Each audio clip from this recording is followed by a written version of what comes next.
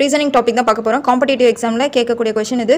Four of the following are alike in the certain way and hence form a group. Which one does not belong to the group? அதாவது இப்போ வந்து இந்த அஞ்சு word கொடுத்துருக்காங்க. அந்த நாலு வேர்ட் வந்து ஒரே மாதிரியான வேர்ட்ஸ் அதாவது ஒரே மீனிங் உள்ளதாக இருக்கும். இல்லை ஒரே திங்ஸோ இல்லை மெட்டீரியல்ஸோ ஒரே மாதிரியான மீனிங் வந்து கொடுக்கக்கூடிய வேர்டாக இருக்கும். ஸோ அதில் வந்து எது வந்து தப்பான word that is odd man எது? இந்த குரூப்பில் சேராத வேர்டு எது நம்ம வந்து ஃபைண்ட் அவுட் பண்ணோம். ஸோ இப்போ பேப்பர் உல் காட்டன் wood இது எல்லாமே வந்து நமக்கு நேச்சுரலாக கிடைக்கக்கூடிய திங்ஸ் இல்லையா? இதெல்லாம் வந்து நேச்சுரலி அவைலபிள் மெட்டீரியல்ஸ் ஆனால் பிளாஸ்டிக் வந்து ஆர்டிஃபிஷியலாக நம்ம வந்து ஹியூமன் கிரியேட் பண்ணுறதா இந்த plastic so paper wool cotton wood இதெல்லாம் வந்து நேச்சுரலி அவைலபிள் மெட்டீரியல் ஸோ இதெல்லாம் வந்து இந்த நாலு வந்து சேம் ஒரே குரூப்பை சேர்ந்தது.